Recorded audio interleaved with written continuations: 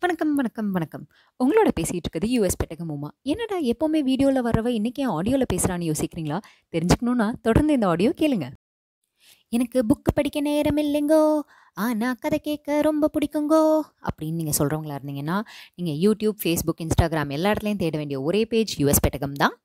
ஏன்னா யூஎஸ் பெட்டகம் உங்களுக்கு அதை மட்டும் சொல்லலைங்க அது கூடவே சேர்த்து பேக்ரவுண்டில் க்ரீனரி இமேஜஸையும் காட்டுது. உங்களுக்கு கதையோட ரிலேட் பண்ணுற இமேஜஸையும் காட்டுது. அடிஷ்னலாக உங்களுக்கு கதை சொல்கிறது இந்தியாவில் அசிஸ்டன்ட் ப்ரொஃபஸராக இருந்த உமா சரவணன். அப்படி என்ன கதைமா நீ யூஎஸ் பெட்டகம்ல சொல்ற அப்படின்னு யோசிக்கிறீங்களா? ராமாயணம், மகாபாரதம், இலக்கிய கதைகள் ஆ இதெல்லாம் எங்களுக்கு போர் அடிக்குது அப்படின்னு சொல்றீங்களா? Wait wait wait wait. நமக்கு என்ன தெரியும்? ராமாயணம்னா ராவணன் சீதையை கடத்தினாரு. மகாபாரதம்னா பாண்டவர்களும் கௌரவர்களும் சண்டை போட்டாங்க அப்படிங்கிறது. ஆனா இதெல்லாம் தாண்டி குட்டி குட்டியா அழகான நிகழ்வுகள் நிறைய இருக்கு. அதெல்லாம் தெரிஞ்சுக்கணும்னா கம் ஆன் டக் டக் டக்குன்னு நீங்கள் நடந்து போய் யூடியூப்குள்ளே போய் யூஎஸ் பெட்டகம்னு தேடி பாருங்க.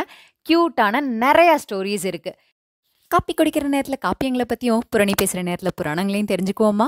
யூஎஸ் பெட்டகமுக்கு வாங்க, கதை கேளுங்க, என்ஜாய் பண்ணுங்கள் உங்களோட ஃபீட்பேக்கை என்கிட்ட சொல்லுங்கள் இதை சொல்கிறது தாங்க ஆடியோவில் வந்தேன். அதனால் நெக்ஸ்ட் டைம் வீடியோவில் வந்து உங்களை நேரடியாக கதை சொல்லும்போது சந்திக்கிறேன். Thank you.